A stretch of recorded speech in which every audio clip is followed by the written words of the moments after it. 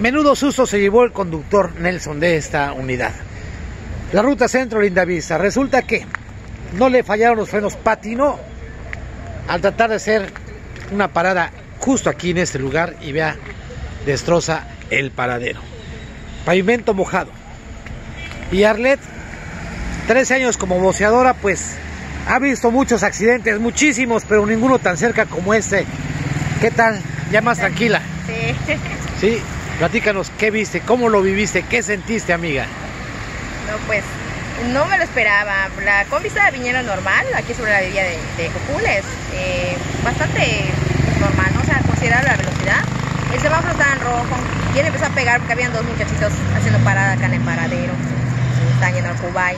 Entonces cuando empezó a pegar la combi, empezó a bajar la velocidad, al momento de frenar, como el pavimento está mojado, Sí, no frenó y la misma inercia de, de la combi la arrastró, hizo que mascara la orilla de la banqueta y terminó subiéndose a la banqueta. Pero esos dos muchachitos están allá no, no buscaban para dónde irse, si para la izquierda o para la derecha.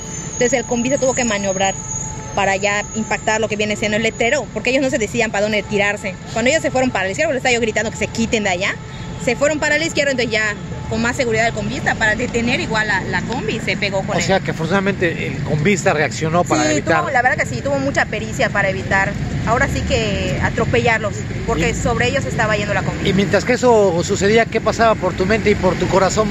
No, pues es el, son los minutos en el que el cuerpo ya empieza a, a sacar su mecanismo de defensa. Este, pues yo les gritaba a ellos que se quiten, Que se vayan para la izquierda, porque estaba haciendo los ademanes a la izquierda. Por lo mismo, yo estaba esperando a ver en qué momento se iba a detener o para dónde iba a seguir la, la combi. Y afortunadamente que se detuvo, ya me pegué con ellos para ver qué les había pasado. Igual el combista se bajó preguntándoles qué les pasó y todo. Les pregunté si necesitaban ambulancia. Y simultáneo a este hubo un accidente también de esta vía. Entonces vi esto rápido y me fui para el otro lado porque ese sí estuvo un poco más, más feo, un, un motociclista. Y obviamente pues el cuerpo es el que recibe todo el impacto. Se derrapó ahí nos acercamos igual a verlo y todo. Ya que estuvo bien, regresamos a ver este accidente de acá de, de la combi. Afortunadamente pues no hubo lesionados de, de gravedad, solo el, el zamarreón, ¿no? El Sí. tremendo susto. Arlet, 13 años de boceadora. Y has Sí, visto este- este muchos, muchísimos. Demasiados en esta vía. Muy amable, muchas gracias. Pues ahí está la voz de esa boceadora. Ya escuchó usted. Y bueno, pues Don Nelson es el que narra qué le ocurrió. Don Nelson, nos comentan que afortunadamente usted alcanzó a reaccionar y para no irse contra las dos personas que estaban aquí, pues se fue contra el paradero. Así es. ¿Qué fue lo que ocurrió? Platique. Eh, íbamos a, a estacionarnos para ascender, pa- para subir pasaje cuando se perdió el control de la, de la unidad por, por el piso mojado. Había dos personas que no sabían para dónde moverse. Así es.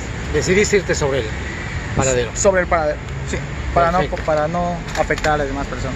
Muy amable, muchas gracias. Pues ahí está la voz del conductor de esta unidad. Vea cómo queda el paradero. No sé si ese gato ya estaba aquí, pero bueno, hay un hay una animal que ha perdido la vida. No sabemos si por ese accidente, no lo creemos, pero bueno. Vea usted, circulaba por esa que es la avenida Cupules. Al llegar aquí a la 14 es cuando viene el accidente. Vea todavía, se ve el aceite aquí. Pues cómo se convierte el pavimento, la cinta asfáltica, eh, pues una especie de mantequilla resbalosa, jabonosa. Y es que patina la combi, vea usted lo que ocurre. Afortunadamente no hay lesionados pese al aparatoso accidente. Vea usted cómo quedó la unidad.